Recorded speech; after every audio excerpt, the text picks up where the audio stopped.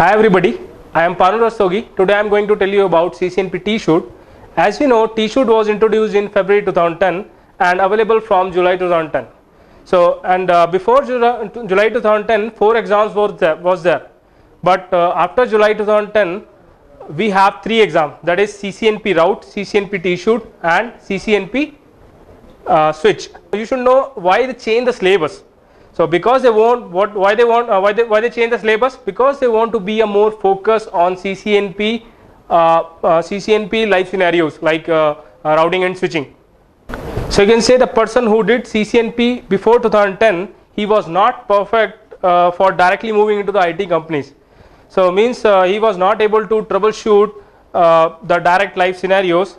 So that's why the Cisco changed their CCNP curriculum for and made made like extremely real world. Actually from troubleshoot your goal is how to manage the network and work on implemented routing switching scenarios. So you can say if we have a good network maintenance strategies then you can typically have a good troubleshooting. Means Cisco is saying Cisco said means Cisco didn't just create about troubleshooting they said this is the best way that you should manage your life in the Cisco world. So now as we see we have a slide over here. Uh, following could lead to the troubleshooting. Like uh, whenever you are installing a new devices upgrading IOS versions monitoring performance security audits implement and implement user requested upgrades documentation. So as we know that documentation is the most important part of the CCNP uh, troubleshoot. For example if you have a scenario you should have a documentation proper documentation. So that that's why whenever any problem comes in the uh, troubleshoot scenario or in the live scenario you should have a proper documentation. So uh, all of them are under in the maintenance. As you see there is a slide. There are uh, so many keys is there to for a successful network maintenance.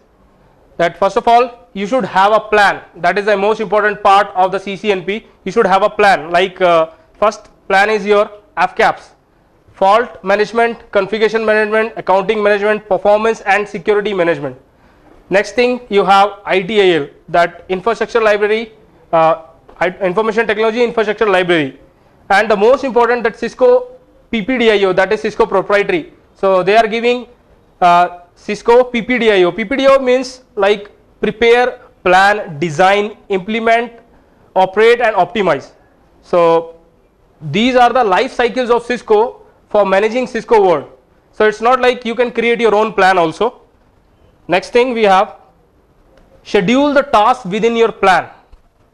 Meaning you have to schedule your maintenance window. Like for example uh, like uh, here we have moves adds and changes. So whatever the uh, products or whatever the router you are moving from uh, one network to another network or you are adding something you are changing something from the scenarios so those things will be there next is replacing failed device. So that is also remember like uh, whatever the uh, IOS version is there and whatever the series of the router you, you are changing you should remember those things. Next thing software upgrades. So obviously uh, continuously the Cisco is giving the new IOS version. You should upgrade your IOS on the devices. And the last thing not the least but that is up upgrading your documentation. So whenever you are moving and adding anything you should update your documentation also third is your create assigned maintenance window. So that is also most important part. So uh, you should create a window. You should tell to your uh, company like this is the time that we will change the change our scenario or we will uh, do some R&Ds on that. So the person who is moving into companies as a normal employee. He will not, not feel like whenever he is coming in the morning he is trying to access the internet and it's not working. So you should tell this is the day and this is the time so that you can uh, what uh, you can troubleshoot or you can uh, do R&Ds on that network. Establishing network maintenance procedures. So that is also most important. First is we have change control. So obviously it's like uh, balancing people's need versus stability of your network. Next thing we have documentation. Equipment list WAN connections whatever the free resources you have all those things you should note down in your documentation. Next we have communication. So communication it's not like uh, whatever we have normal communication. The thing is what you are doing and the finding out what the other peoples are doing. Meaning needs to establish our communication standards. That should be there. Second last thing we have consistency. Consistency meaning you should have uh, standards defining standards how your devices are set up uh, or how you are going to use timestamps. That should be same on all the routers because uh, you should use for that uh, NTP servers and all. So access list and all should be consistent on all the routers. So it's not like that one router you, you, you are using another access list and another router you are using different access list. Access list for the same scenario should be same. Second thing is next thing is cyclic equipment that is cycling equipment is the most important part that is MTBF that is called mean time between failure. So you don't have to wait to uh, wait for the device should be die. So always you have to say okay uh, by default uh, Cisco is giving 10 years at saying saying like device can work up to 10 years but you should not wait for that you should recycle the devices after every 3 years. So last thing is we have schedules maintenance window that I already talked about assembling your core maintenance tools. What is that? creating a list of things that every network should be using for maintenance. First is you know that telnet, SSH consoles, NTP server that's recently I told you, syslog, HTTP, HTTPS servers, GUI, SDM, uh, TFTP server, EEM. So these all are the tools that you can download and you have to be in your uh, uh, you have to be in your pen drive and so that anytime you need this these uh, tools you should have immediately. You should not have to uh, wait for the downloading and doing the things. So you should have in your pen drive. Next thing we have ios maintenance configuration so i will tell you like by default cisco will provide you so many tools from their ios only so that is like uh, whenever you want to take a backup of the configuration that you can take through the tftp ftp or http so you should use the most uh, uh, usable thing like called we have uh, HTTP or the FTP because both are T, uh, TCP not the UDP because in this case TFTP is UDP. So for that we have the so many servers like core FTP server is there so you can use it free where it is. Next thing is archiving config configuration. So your IOS tools is tool is providing providing archiving configuration by default.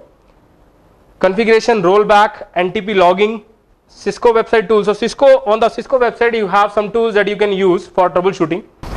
So these were the basic step for troubleshooting. So here uh, I am going to show you the logical topology for troubleshoot that we are going to be used uh, for entire CCNP T-shoot program. As you see this topology contains near around 13 devices over here and which is the small which is the small to medium size network. So this will help you to uh, directly go into the company and uh, mm, uh, to troubleshoot the medium to uh, medium to small to medium size network. This topology is totally according to the Cisco CCNP troubleshoot curriculum. So and one more thing I want to tell you like uh, same topology you will face in exams. As you can see there you have the IRO1, IRO2 and these are your uh, core routers over here and you can see this ISP service provider cloud is there and down to that you have some core switches and access layer switches. So in this case this is your headquarters and uh, in the right hand side you have your branch office those are having uh, uh, BRO1 and BRO2 those are the devices and in between you have totally redundancy called uh, through the frame relay and the point to point link. So uh, you should always you should go through the branch office to headquarters and you have to troubleshoot all the things and then you have the CRO1 CRO2 that is connecting from core to branch office over here and uh, then uh, at the end I want to show you the real rack of that we will using for T-shoot curriculum. So we have the rack over here this rack is having all the devices that, you, uh, that I talked about in the lab topology like you can see BRO1, BRO2, CRO1, CRO2, ISP, ISP1, ISP2 is there. So all devices you can use up to 3600, 2600 and uh, we have the switches like 3560, 3550. So those devices you need for the troubleshoot topology that will give you the live scenario of uh, according to the real world. So you can easily uh, get some gets a hands on on that so that directly you can move into the company and you can troubleshoot. So that's it for the day and I hope you enjoyed. Thank you for the watching.